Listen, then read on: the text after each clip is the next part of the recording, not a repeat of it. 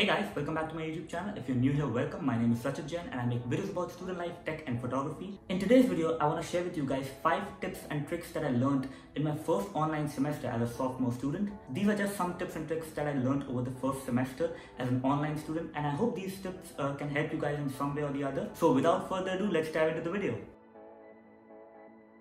It is important to create boundaries for yourself. Online university can get overwhelming at times, with multiple assignments and deadlines and absolutely no motivation to complete anything. It is important to create boundaries and know when it's enough.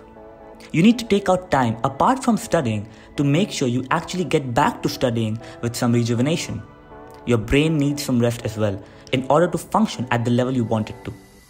Digital world is not designed for boundaries, so it can be very easy to lose track of time and always keep worrying about something or the other. Find a way to meet people or interact with people. I know you can feel lonely right now, monotonous time schedules, and no physical interaction with any human being apart from your family. You can start meeting new friends over Zoom or FaceTime.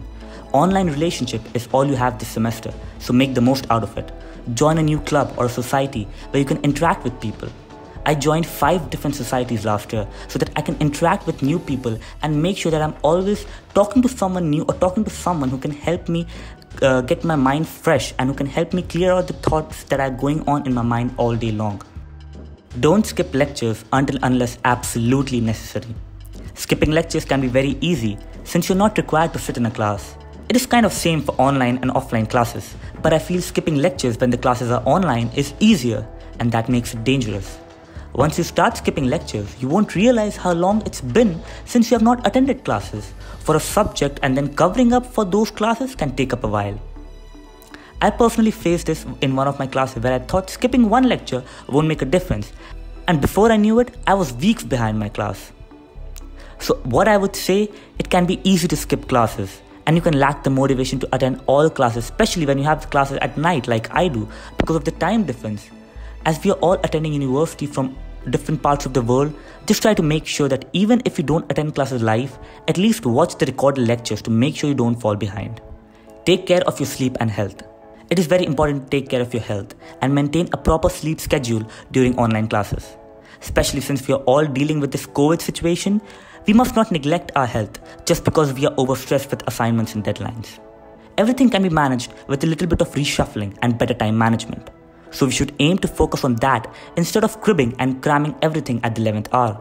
Maintaining a proper sleep schedule is detrimental for your well being and your immune system. Take it from personal experience. I had a very, very bad sleep schedule in my first online semester, and I could not stress on how bad things get towards the end. When you have to put in extra hours studying during midterms or finals, it becomes very unhealthy to have a bad sleep schedule. Schedule at least some part of your day. Scheduling helps in a lot of ways. It gives you clarity as to what needs to be done on a particular day and make sure you have the time allotted for those tasks. It helps in overcoming anxiety, considering the amount of work you may need to get done on a particular day. Giving structure to your day can help in separating time off work and making sure you're productive while working because what gets measured gets managed. So that's it for this video. If you guys enjoyed the video or found it helpful, please make sure to like the video and subscribe to the channel if you haven't already. I hope these tips can help you guys in some way or the other because they surely helped me.